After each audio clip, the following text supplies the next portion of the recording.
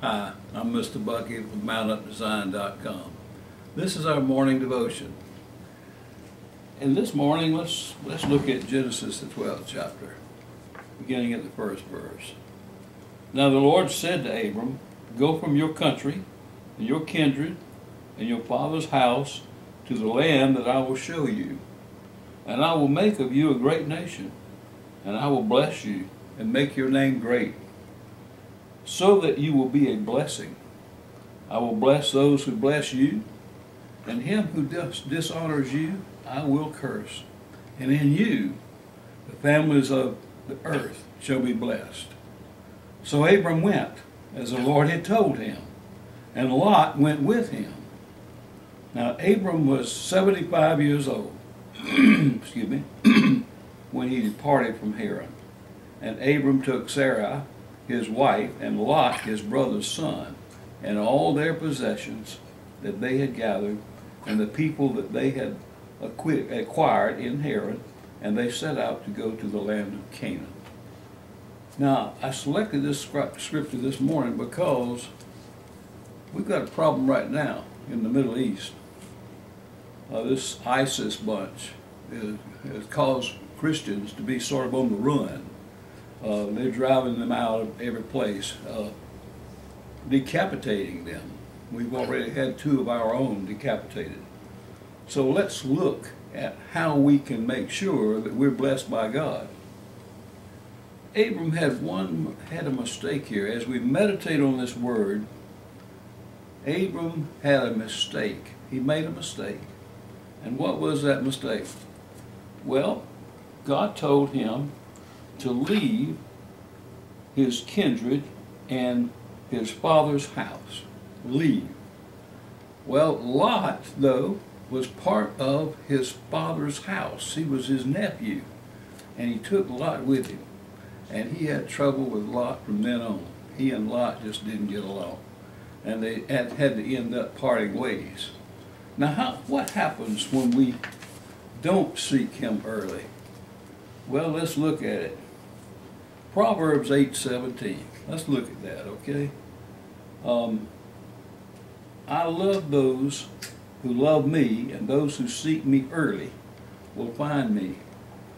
Now, also, we could say that I love those, I love and can help those who love me, and those who diligently seek me early.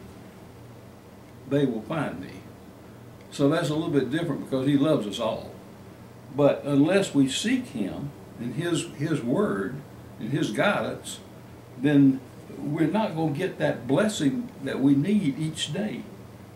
So that's one reason why uh, Phyllis and I we seek Him each morning early, don't we? Right.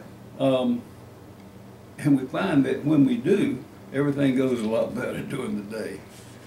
And I I think that Jesus was right on top of it when he said, Seek ye first the kingdom of God and his righteousness, and all these other things that you need and desire will be yours as well, or they'll be added unto you, depending on the translation. Um, what did he mean by seek ye first? Well, we could talk about seeking him first as far as the morning is concerned, because that's what uh, Proverbs tells us.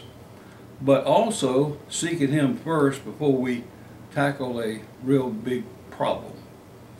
And if we don't seek Him first, I can assure you the day doesn't go well, and we've tried that, haven't we, That's right. Uh, and it, every time you don't seek Him early, and you and you start thinking on your own, thinking that well, we, I can do this, I can handle this, I can do it, and every time you'll fall flat on your face. I mean, even to the point where one time you were looking for a screwdriver, were you? Yeah. And uh, you couldn't find that screwdriver. Um, it's it's all a matter of when we seek Him, when we ask Him for help. If we're going to wait until till it's all over with, then we're not going to be able to get anywhere. It's kind of like my daddy used to tell me. He said, "Son, you call me." Whenever you want to make a decision on something, but the truth is you've already made the decision. So you really didn't seek me first. You you you've already made the decision, and that's that's the way God is. God says, "Seek me first, and you'll find me. Seek me first, and my righteousness," which means, of course, have faith in God, have faith in the written word, the inspired word of God, as we read it in in the Word. Now, you wanted to talk a little bit about prayer. Yeah, I wanted to, uh, let, let me, uh. Because we always include that. Yeah, let me reposition the camera. Hold on just a minute. All right. All right, I just wanted to mention uh, about the prayer. Now, we, we are definitely not going to pray on the video, other than we might pray for those watching. That would be good. A, a little short prayer for all of that. But we do pray for very specific things in the morning, and one of the biggest things that we pray about every single morning is that the Lord would lead and guide us in exactly the way we need to go in this day and uh, help us to have the energy and strength to do whatever task we're going to do. And also, I always pray that He will cause us to have uh, delicious and nutritious food every single day, which of course uh, helps us with our health. And um, the other thing is that God promises to renew our youth like the eagles, to make us strong, soaring, and overcoming. So we also ask for that. And um, I think it works. I do too. Yeah, I think I it do too. works. And uh, so anyway, uh, we'll go ahead and uh, let Mr. Bucky. Now, why don't uh, you do it? Why Well, I was going to ask you to pray for the people who are All right, watching. okay. Yeah, you know, God likes men to pray too, right? All right, so we're going to turn it around. Hold on. We're going to pray now. Father, we just come before you in the precious and mighty name of Jesus, Father. We know that you are a gracious and merciful God. And we ask forgiveness for all of our sins from this point backward. Just cleanse our slate and wash us clean by the blood of Jesus. Father, you know exactly who's watching this right now. And we, you know who needs to hear from you. And Father, we just ask that you would reach down and touch that person so that that person can know you as we know you. Can, Father, we just, we ask that you would give all who watch an abundant life today. Let them know that you love them and that you are there for them. Let them know, Father, that you, there is no space or time requirement with you, that you're always available, that you want them to succeed in everything that they do. And Father, we just ask all of this in Jesus' name. Amen.